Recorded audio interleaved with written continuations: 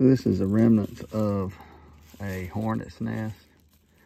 And it's the same type of like paper construction you'll find in other paper wasps such as the yellow jackets or um,